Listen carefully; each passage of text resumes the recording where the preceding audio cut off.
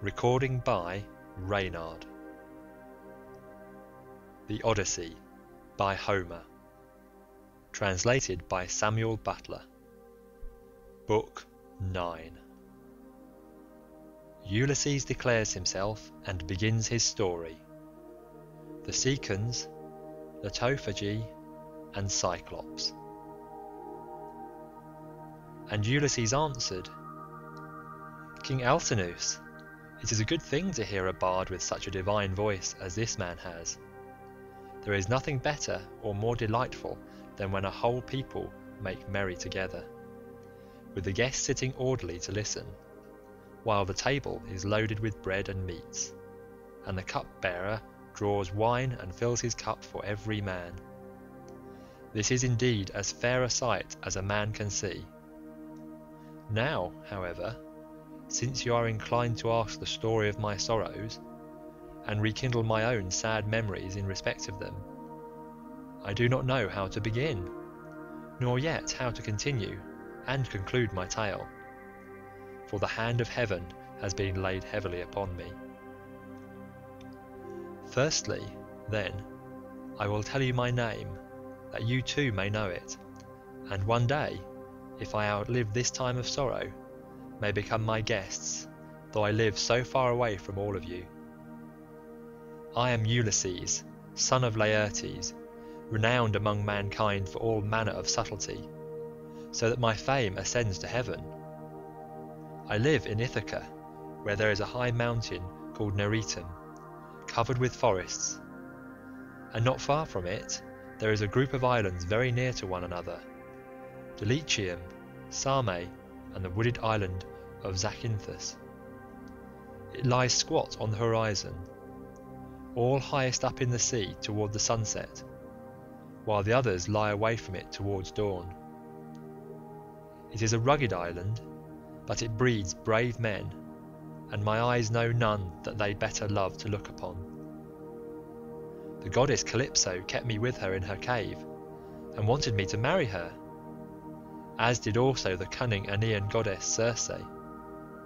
But they could neither of them persuade me, for there is nothing dearer to a man than his own country and his parents, and however splendid a home he may have in a foreign country, if it be far from father or mother, he does not care about it. Now, however, I will tell you of the many hazardous adventures which by Jove's will I met with on my return from Troy. When I had set sail thence, the wind took me first to Ismarus, which is the city of the Cicons. There I sacked the town and put the people to the sword.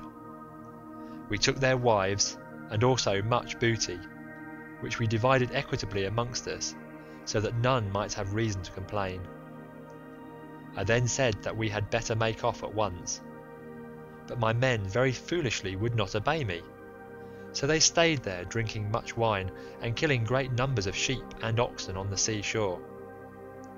Meanwhile the Cicons cried out for help to other Cicons who lived inland. These were more in number and stronger, and they were more skilled in the art of war, for they could fight, either from chariots or on foot as the occasion served. In the morning, therefore, they came as thick as leaves and bloom in summer and the hand of heaven was against us, so that we were hard pressed. They set the battle in array near the ships, and the hosts aimed their bronze-shod spears at one another.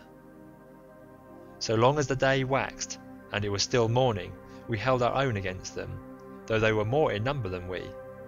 But as the sun went down towards the time when men lose their oxen, the Cicons got the better of us, and we lost half a dozen men from every ship we had so we got away with those that were left.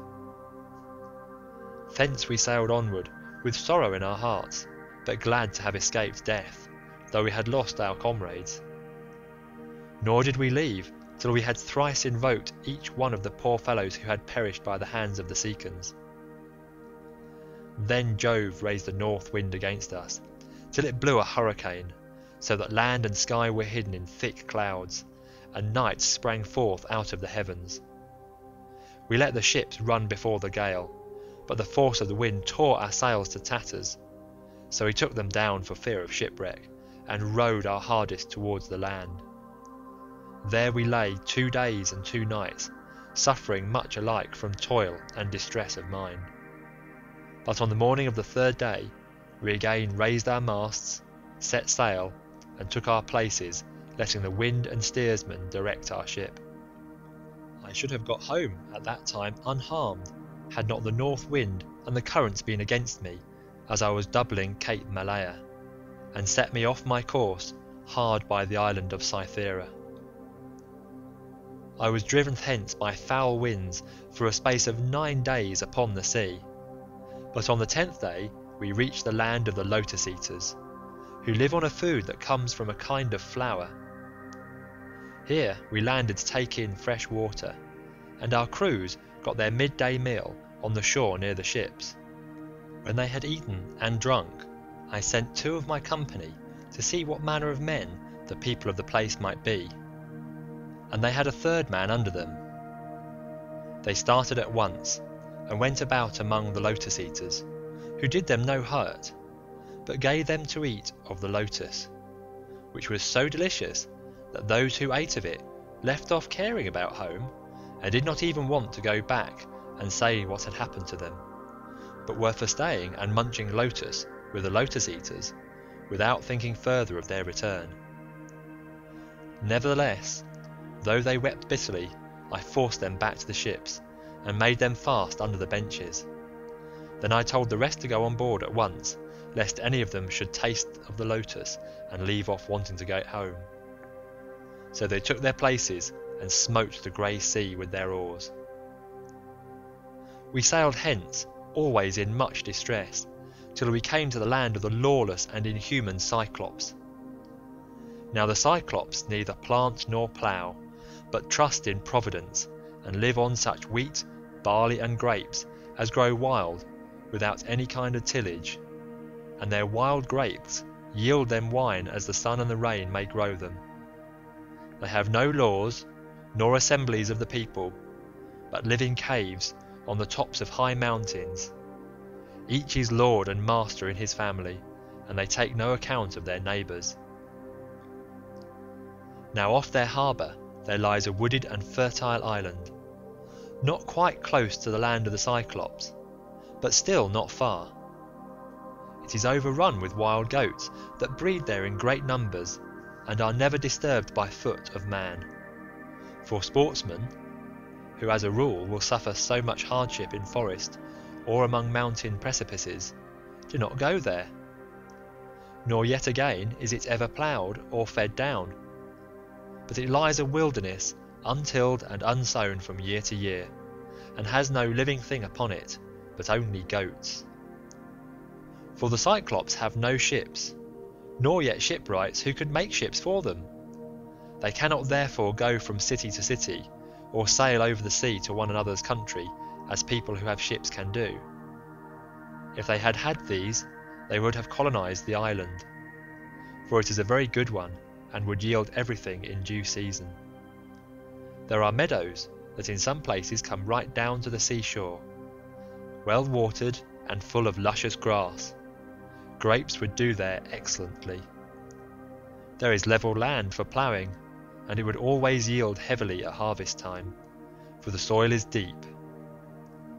There is a good harbour, where no cables are wanted, nor yet anchors, nor need a ship be moored, but all one has to do is to beach one's vessel and stay there till the wind becomes fair for putting out to sea again. At the head of the harbour there is a spring of clear water coming out of a cave, and there are poplars growing all round it. Here we entered, but so dark was the night that some god must have brought us in, for there was nothing whatever to be seen. A thick mist hung all round our ships. The moon was hidden behind a mass of clouds, so that no one could have seen the island if he had looked for it. Nor were there any breakers to tell us we were close inshore before we found ourselves upon the land itself. When, however, we had beached the ships, we took down the sails, went ashore and camped upon the beach till daybreak. When the child of morning, rosy fingered dawn appeared, we admired the island and wandered all over it, while the nymphs, Jove's daughters, roused the wild goats that we might get some meat for our dinner. On this we fetched our spears and bows and arrows from the ships, and dividing ourselves into three bands, began to shoot the goats. Heaven sent us excellent sport. I had twelve ships with me, and each ship got nine goats, while my own ship had ten. Thus, through the livelong day, to the going down of the sun, we ate and drank our fill, and we had plenty of wine left, for each one of us had taken many jars full when we sacked the city of the Cicons, and this had not yet run out. While we were feasting, we kept turning our eyes towards the land of the Cyclopes, which was hard by, and saw the smoke of their stubble fires. We could almost fancy we heard their voices and the bleating of their sheep and goats, but when the sun went down and it came on dark, we camped down upon the beach, and next morning I called a council. "Stay here, my brave fellows," said I, "all the rest of you while I go with my ship and exploit these people myself. I want to see if they are uncivilized savages or a hospitable and humane race." I went on board, bidding my men to do so also, and loosed the hawsers. So they took their places and smote the grey sea with their oars. When we got to the land, which was not far, there on the face of a cliff near the sea we saw a great cave overhung with laurels. It was a station for a great many sheep and goats, and outside there was a large yard with a high wall round it made of stones built into the ground and of trees both pine and oak. This was the abode of a huge monster who was then away from home shepherding his flocks. He would have nothing to do with other people, but led the life of an outlaw. He was a horrid creature, not like a human being at all, but resembling rather some crag that stands out boldly against the sky on the top of a high mountain. I told my men to draw the ship ashore and stay where they were, all but the twelve best among them, who were to go along with myself. I also took a goat skin of sweet black wine which had been given me by Maron, son of Euanthes who was priest of Apollo, the patron god of Ismarus, and lived within the wooded precincts of the temple. When we were sacking the city, we respected him and spared his life, as also his wife and child.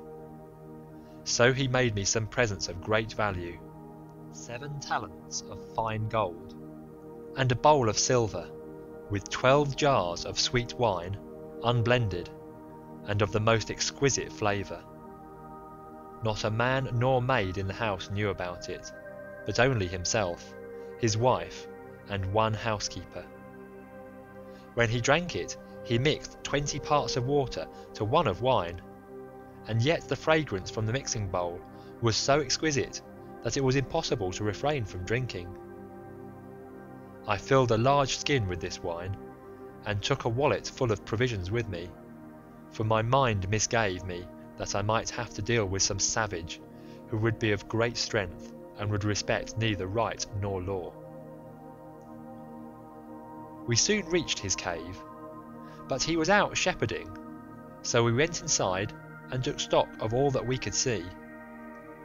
His cheese racks were loaded with cheeses, and he had more lambs and kids than his pens could hold. They were kept in separate flocks, First there were the hoggets, then the oldest of the younger lambs, and lastly the very young ones, all kept apart from one another. As for his dairy, all the vessels, bowls, and milk pails into which he milked were swimming with whey. When they saw all this, my men begged me to let them first steal some cheeses, and make off with them to the ship. They would then return, drive down the lambs and kids, put them on board, and sail away with them. It would have been indeed better if we had done so, but I would not listen to them, for I wanted to see the owner himself, in the hope that he might give me a present. When, however, we saw him, my poor men found him ill to deal with. We lit a fire, offered some of the cheeses in sacrifice, ate others of them, and then sat waiting till the Cyclops should come in with his sheep. When he came, he brought in with him a huge load of dry firewood to light the fire for his supper, and this he flung with such a noise on to the floor of his cave that we hid ourselves for fear at the far end of the cavern. Meanwhile he drove all the ewes inside, as well as the she-goats that he was going to milk, leaving the males, both rams and he-goats, outside in the yards. Then he rolled a huge stone to the mouth of the cave, so huge that two and twenty strong four-wheeled wagons could not be enough to draw it from its place against the doorway. When he had done so, he sat down and milked his ewes and goats, all in due course, and then he let each of them have her own young. He curdled half the milk and set it aside in wicker strainers but the other half he poured into bowls that he might drink it for his supper. When he had got through with all his work, he lit the fire, and then caught sight of us, whereupon he said, Strangers, who are you? Where do you sail from? Are you traders, or do you sail the sea as rovers, with your hands against every man, and every man's hand against you? We were frightened out of our senses by his loud voice and monstrous form. But I managed to say, We are Achaeans on our way home from Troy, and by the will of Jove and stress of weather we have been driven far out of our course. We are the people of Agamemnon, son of Atreus, who has won infinite renown throughout the whole world by sacking so great a city and killing so many people. We therefore humbly pray you to show us some hospitality, and otherwise make us such presents as visitors may reasonably expect. May your excellency fear the wrath of heaven, for we are your suppliants, and Jove takes all respectable travellers under his protection, for he is the avenger of all suppliants and foreigners in distress. To this he gave me but a pitiless answer. Stranger, said he, you are a fool, or else you know nothing of this country. Talk to me, indeed, about fearing the gods or shunning their anger. We Cyclops do not care about Jove or any of your blessed gods, for we are ever so much stronger than they. I shall not spare either yourself or your companions out of any regard for Jove, unless I am in the humour for doing so. And now tell me where you made your ship fast when you came on shore. Was it round the point, or is she lying straight off the land? He said this to draw me out, but I was too cunning to be caught in that way, so I answered with a lie. Neptune, said I, sent my ship onto the rocks at the far end of your country, and wrecked it. We were driven onto them from the open sea, but I and those who are with me escaped the jaws of death. The cruel wretch vouchsafed me not one word of answer, but with a sudden clutch he gripped up two of my men at once and dashed them down upon the ground as though they had been puppies. Their brains were shed upon the ground, and the earth was wet with their blood. Then he tore them limb from limb and supped upon them. He gobbled them up like a lion in the wilderness, flesh, bones, marrow, and entrails, without leaving anything uneaten. As for us, we wept, and lifted up our hands to heaven on seeing such a horrid sight, for we did not know what else to do. But when the Cyclops had filled his huge paunch, and had washed down his meal of human flesh with a drink of neat milk, he stretched himself full length upon the ground among his sheep, and went to sleep. I was at first inclined to seize my sword, draw it, and drive it into his vitals, but I reflected that if I did we should all certainly be lost, for we should never be able to shift the stone which the monster had put in front of the door. So we stayed sobbing and sighing where we were till morning came. When the child of morning, rosy fingered Dawn, appeared, he again lit his fire, milked his goats and ewes, all quite rightly, and then let each have her own young. As soon as he had got through with all his work, he clutched up two more of my men and began eating them for his morning's meal. Presently, with the utmost ease, he rolled the stone away from the door and drove out his sheep, but he at once put it back again, as easily as though he were merely clapping the lid onto a quiver full of arrows. As soon as he had done so, he shouted and cried, Shoo! Shoo! after his sheep, to drive them onto the mountain. So I was left to scheme some way of taking my revenge, and covering myself with glory. In the end, I deemed it would be the best plan to do as follows.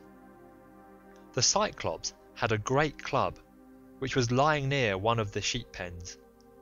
It was of green olive wood, and he had cut it intending it to use for a staff as soon as it should be dry.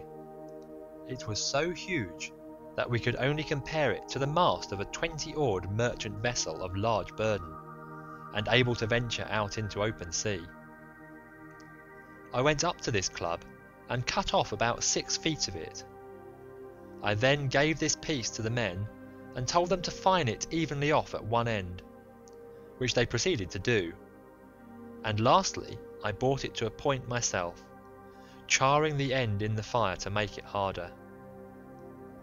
When I had done this, I hid it under dung, which was lying about all over the cave, and told the men to cast lots which of them should venture along with myself to lift it and bore it into the monster's eye while he was asleep. The lot fell upon the very four whom I should have chosen, and I myself made five. In the evening the wretch came back from shepherding, and drove his flocks into the cave this time driving them all inside, and not leaving any in the yards. I suppose some fancy must have taken him, or a god must have prompted him to do so. As soon as he had put the stone back in its place against the door, he sat down, milked his ewes and his goats all quite rightly, and then let each have her own young. When he had got through with all this work, he gripped up two more of my men, and made his supper of them. So I went up to him with an ivy wood bowl of black wine in my hands. Look here, Cyclops, said I, you have been eating a great deal of man's flesh. So take this and drink some wine, that you may see what kind of liquor we had on board my ship. I was bringing it to you as a drink offering, in the hope that you would take compassion upon me and further me on my way home. Whereas all you do is go on ramping and raving most intolerably. You ought to be ashamed of yourself. How can you expect people to come see you any more if you treat them in this way? He then took the cup and drank. He was so delighted with the taste of the wine that he begged me for another bowlful. Be so kind, he said, as to give me some more, and tell me your name at once. I want to make you a present that you will be glad to have. We have wine even in this country, for our soil grows grapes, and the sun ripens them. But this drinks like nectar and ambrosia all in one. I then gave him some more. Three times did I fill the bowl for him, and three times did he drain it without thought or heed. Then, when I saw that the wine had got into his head, I said to him as plausibly as I could, Cyclops, you ask my name, and I will tell it to you. Give me, therefore, the present you promised me. My name is No Man. This is what my father and mother and my friends have always called me. But the cruel wretch said, Then I will eat all No Man's comrades before No Man himself, and will keep No Man for the last. This is the present that I will make him.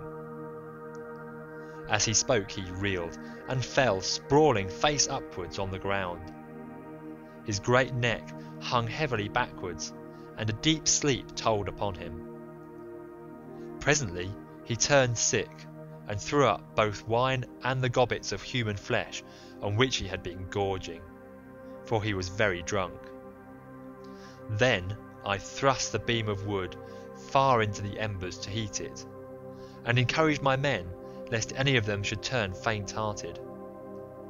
When the wood, green though it was, was about to blaze, I drew it out of the fire glowing with heat, and my men gathered round me, for heaven had filled their hearts with courage.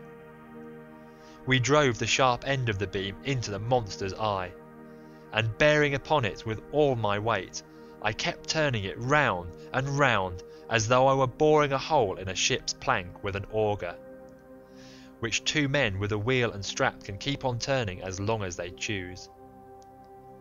Even thus did we bore the red hot beam into his eye, till the boiling blood bubbled all over it as we worked it round and round, so that the steam from the burning eyeball scalded his eyelids and eyebrows, and the roots of the eye sputtered in the fire. As a blacksmith plunges an axe or hatchet into cold water to temper it, for it is this that gives strength to the iron, and it makes a great hiss as he does so. Even thus did the Cyclops' eye hiss round the beam of olive wood, and his hideous yells made the cave ring again. We ran away in a fright, but he plucked the beam all besmirched with gore from his eye and hurled it from him in a frenzy of rage and pain, shouting as he did so to the other Cyclops who lived on the bleak headlands near him. So they gathered from all quarters round his cave when they heard him crying, and asked him what was the matter with him. What ails you, Polyphemus, said they, that you make such a noise, breaking the stillness of the night, and preventing us from being able to sleep? Surely no man is carrying off your sheep. Surely no man is trying to kill you either by fraud or by force. But Polyphemus shouted to them from inside the cave, No man is killing me by fraud! No man is killing me by force! Then, said they, if no man is attacking you, you must be ill. When Jove makes people ill, there is no help for it, and you had better pray to your father Neptune. Then they went away, and I laughed inwardly at the success of my clever stratagem. But the Cyclops, groaning and in an agony of pain, felt about with his hands till he found the stone and took it from the door. Then he sat in the doorway and stretched his hands in front of it to catch anyone going out with the sheep for he thought I might be foolish enough to attempt this. As for myself, I kept on puzzling to think how I could best save my own life and those of my companions. I schemed and schemed as one who knows that his life depends on it, for the danger was very great. In the end, I deemed that this plan would be the best. The male sheep were well grown and carried a heavy black fleece. So I bound them noiselessly in threes together, with some of the withies on which the wicked monster used to sleep.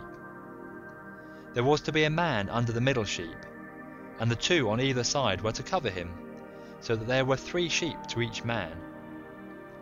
As for myself, there was a ram finer than any of the others, so I caught hold of him by the back ensconced myself in the thick wool under his belly, and hung on patiently to his fleece, face upwards, keeping a firm hold on it all the time. Thus then did we wait in great fear of mind till morning came. But when the child of morning, rosy-fingered dawn, appeared, the male sheep hurried out to feed, while the ewes remained bleating about the pens, waiting to be milked for their udders were full to bursting. But their master, in spite of all his pain, felt the backs of all the sheep as they stood upright, without being sharp enough to find out that the men were underneath their bellies.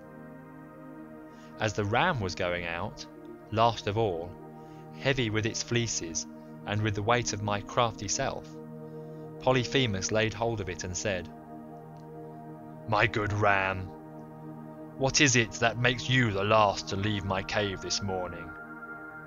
You are not wont to let the ewes go before you, but lead the mob with a run whether to flowery mead or bubbling fountain, and are the first to come home again at night. But now you lag last of all. Is it because you know your master has lost his eye, and are sorry because that wicked Noman and his horrid crew has got him down on his drink and blinded him? But I will have his life yet. If you could understand and talk, you would tell me where the wretch is hiding, and I would dash his brains upon the ground till they flew all over the cave. I should thus have some satisfaction for the harm this no good Noman has done me. As he spoke, he drove the ram outside.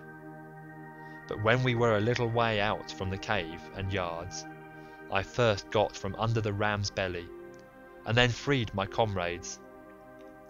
As for the sheep, which were very fat, by constantly heading them in the right direction, we managed to drive them down to the ship.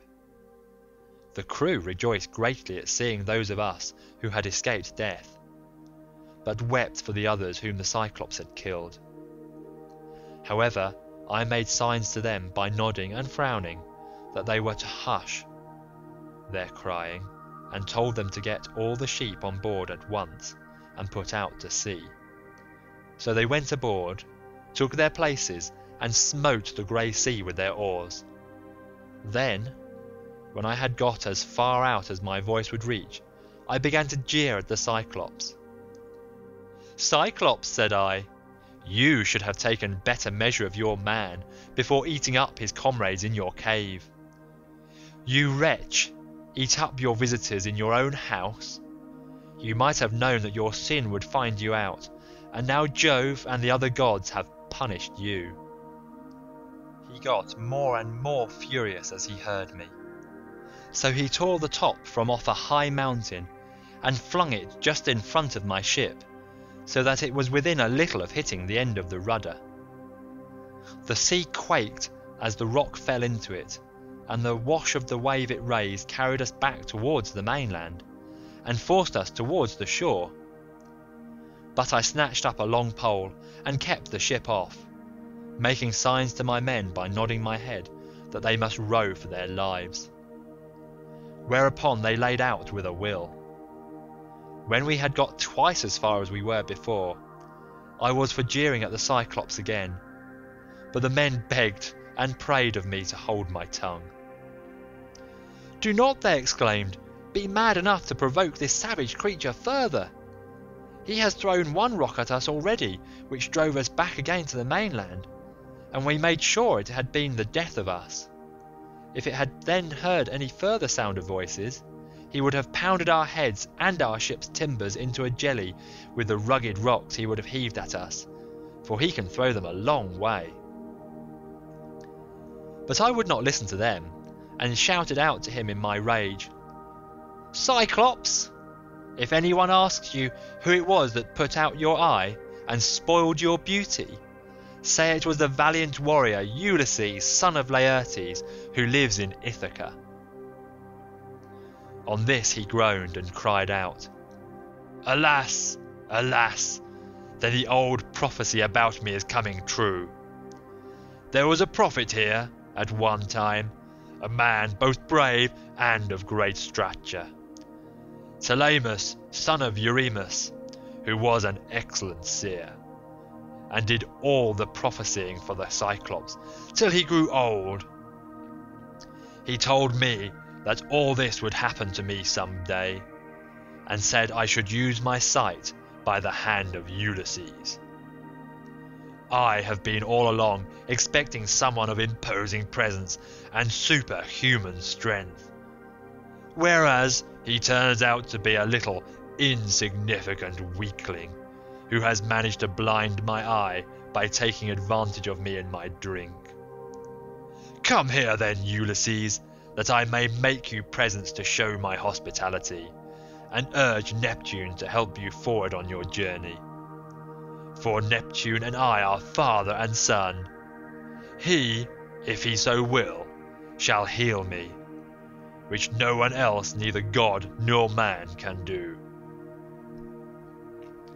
Then I said, I wish I could be as sure of killing you outright and sending you down to the house of Hades as I am that it will take more than Neptune to cure that eye of yours. On this he lifted up his hands to the firmament of heaven and prayed, saying, Hear me, great Neptune. If I am indeed your own true begotten son, grant that Ulysses may never reach his home alive. Or if he must get back to his friends at last, let him do so late and in sore plight after losing all his men. Let him reach his home in another man's ship and find trouble in his house. Thus did he pray, and Neptune heard his prayer. Then he picked up a rock much larger than the first, swung it aloft, and hurled it with prodigious force. It fell just short of the ship, but was within a little of hitting the end of the rudder. The sea quaked as the rock fell into it, and the wash of the wave it raised drove us onwards on our way towards the shore of the island. When at last we got to the island where we had left the rest of our ships, we found our comrades lamenting us and anxiously awaiting our return. We ran our vessel upon the sands and got out of her onto the sea shore. We also landed the Cyclops' sheep and divided them equitably amongst us so that none might have reason to complain. As for the ram, my companions agreed that I should have it as an extra share. So I sacrificed it on the seashore and burned its thigh bones to Jove, who is the lord of all. But he heeded not my sacrifice, and only thought how he might destroy both my ships and my comrades. Thus through the livelong day, to the going down of the sun, we feasted our fill on meat and drink. But when the sun went down, and it came on dark, we camped upon the beach. When the child of morning, rosy-fingered dawn appeared, I bade my men on board and loosed the hawsers. Then they took their places and smote the grey sea with their oars. So we sailed on with sorrow in our hearts, but glad to have escaped death, though we had lost our comrades. End of Book 9